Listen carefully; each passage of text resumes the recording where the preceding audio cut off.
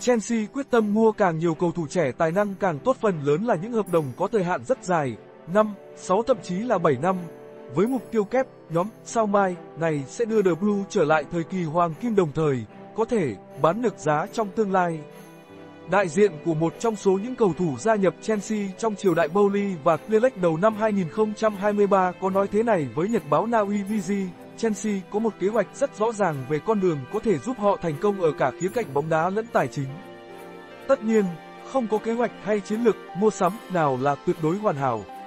Nhưng về lý thuyết, các hợp đồng với thời hạn dài sẽ tối đa hóa khả năng thu lợi nhuận cho Chelsea ngay cả khi sự phát triển nhóm cầu thủ trẻ mà họ đưa về Stamford Bridge trong khoảng 2 năm qua không đồng đều. Cách tiếp cận của Chelsea tạo ra nhiều chỉ trích. Một số người đặt câu hỏi về việc sử dụng tiền của The Blue vì việc chi tiêu quá mức đã buộc câu lạc bộ phải bán, đẩy đi hàng loạt sản phẩm trưởng thành từ học viện như Conor Gallagher, Trevoh Chaloba, Armando Broha, Mason Mount hay Ruben Loftus-Cheek. Một số khác cho rằng việc ôm một mớ tài năng trẻ của Chelsea là ích kỷ và thậm chí có thể làm hại con đường phát triển của cầu thủ. Giai đoạn thứ hai trong chiến lược của Chelsea là tạo ra một hệ thống gồm các câu lạc bộ tri âm, nơi The Blue có thể ký gửi các cầu thủ trẻ của họ. Một mặt cho phép nhóm sao mai của đội có cơ hội tích lũy kinh nghiệm thực chiến mặt khác đảm bảo họ phát triển đúng với lộ trình mong muốn. Tháng 6 năm 2023, Bluco tập đoàn sở hữu Chelsea đã mua lại câu câu lạc bộ Pháp Strasbourg, hiện thực hóa bước tiếp theo trong kế hoạch. Thủ môn Jorge Petrovic, hậu vệ Caleb Wiley và tiền vệ Andre Santos là ba cầu thủ Chelsea đang thi đấu tại Strasbourg theo hợp đồng mượn. Thống kê từ Opta cho biết, tuổi trung bình đội hình xuất phát của Chelsea tại Premier League mùa này là 23 năm trừ 195 ngày. Nếu con số này được duy trì đến hết mùa bóng năm 2024 đến năm 2025, Chelsea sẽ thiết lập kỷ lục mới của giải đấu, vượt qua lít năm 1999 đến năm 2000. 24 năm trừ 162 ngày. Ẩn lưu ý, đó là thống kê trung bình 10 trận.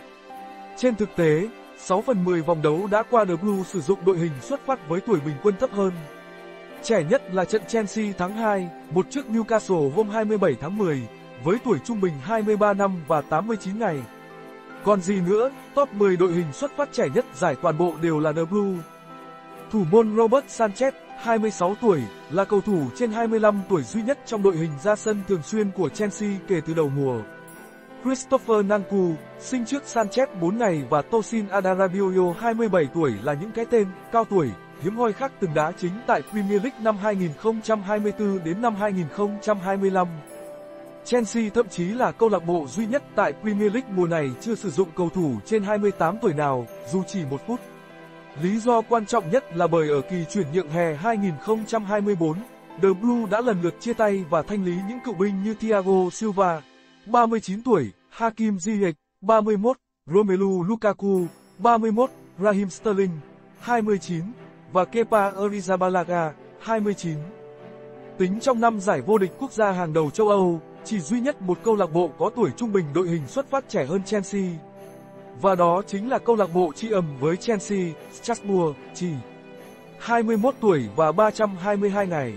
Sau 10 vòng đấu đầu tiên, đội bóng trẻ của huấn luyện viên cũng khá trẻ Enzo Maresca đang đứng thứ tư BXS Premier League.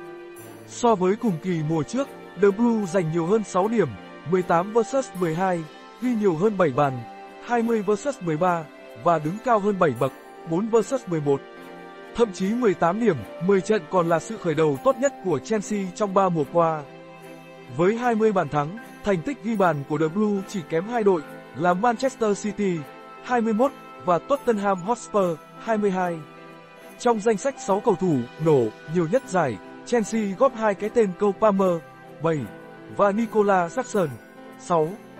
Người đầu sinh năm 2002 và người sau mới 23 tuổi.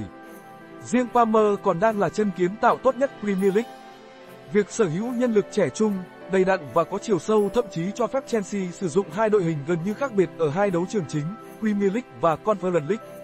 Nhắc đến Conference League, The Blue vừa hủy diệt FC Noe với tỷ số 8, không bằng đội hình xuất phát có độ tuổi trung bình trẻ tương đương 23 năm và 187 ngày.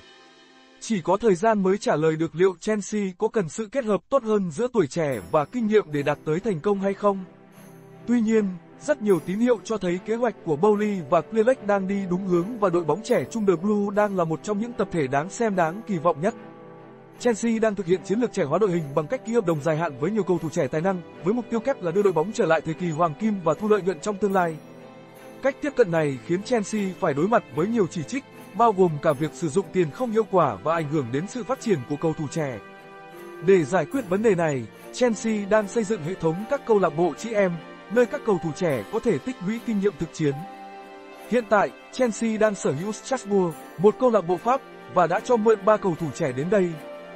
Mùa này, tuổi trung bình đội hình xuất phát của Chelsea tại Premier League là 23 năm trừ 195 ngày. Nếu duy trì đến hết mùa giải năm 2024 đến năm 2025, Chelsea sẽ thiết lập kỷ lục mới của giải đấu.